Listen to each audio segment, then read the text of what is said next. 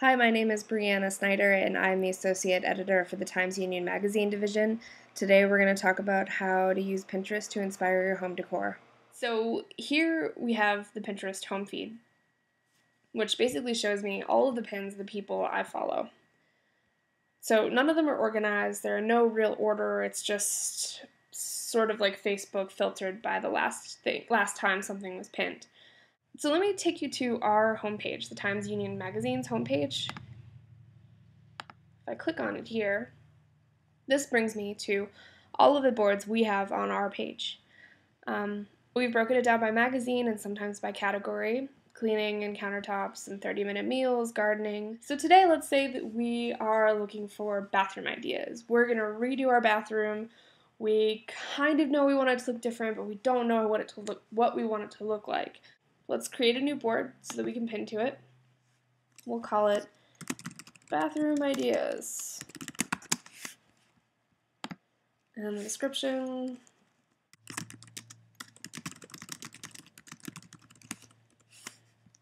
Pinterest does have an option to make your board secret.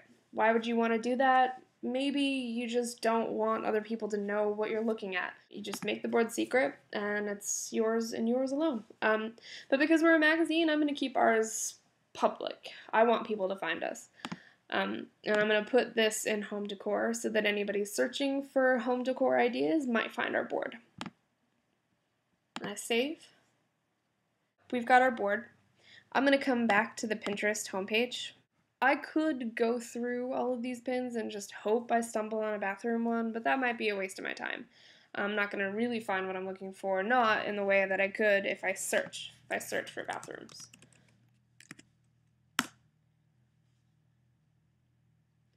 Now I see every single pin in Pinterest that's tagged with the word bathroom which in most cases is going to show us pictures of bathrooms, uh, maybe little details in bathrooms, the sink, for instance, um, or broader pictures of the whole thing.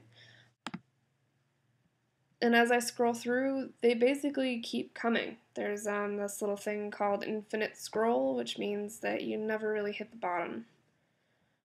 It just keeps loading.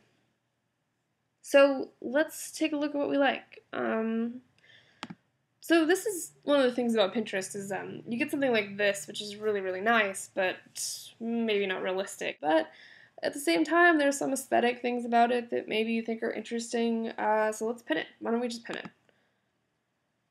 Here I can drop down through all of my boards and select the one I need and pin it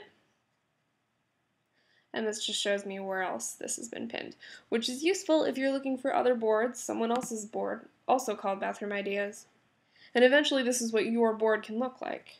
Um, as you scroll through here, you might find other things you like. And that's really interesting, the way that this sort of curves in this way. And the stone is really nice, so let's pin this too.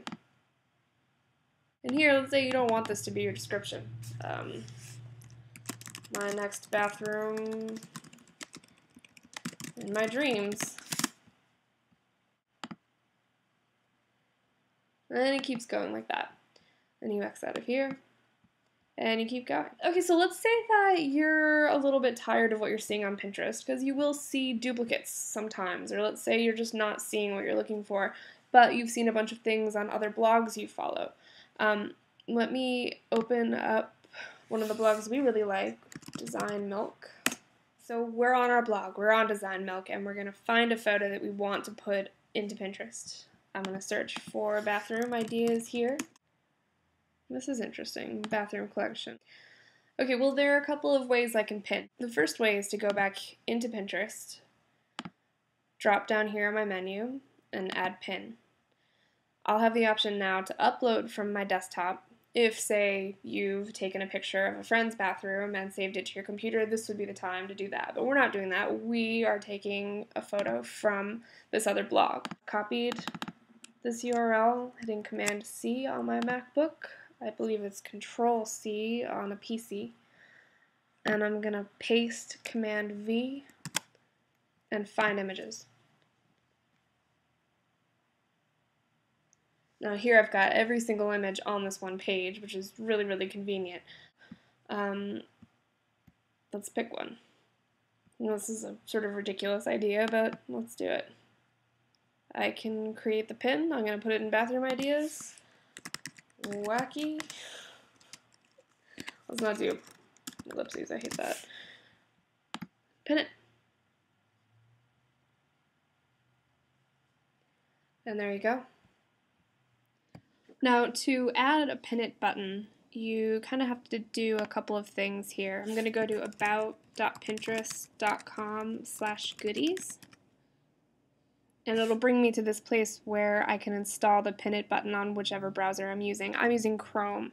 So when I click install now, the pin it button, it's going to bring me to Google Play to add the app to the browser.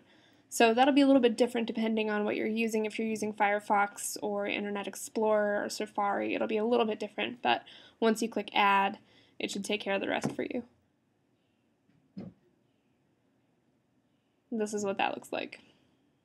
And that's pretty much all you need to know. Uh, I've come back to our homepage here, our, our profile page, where you can see everything we've done, bathroom ideas, with everything we pinned.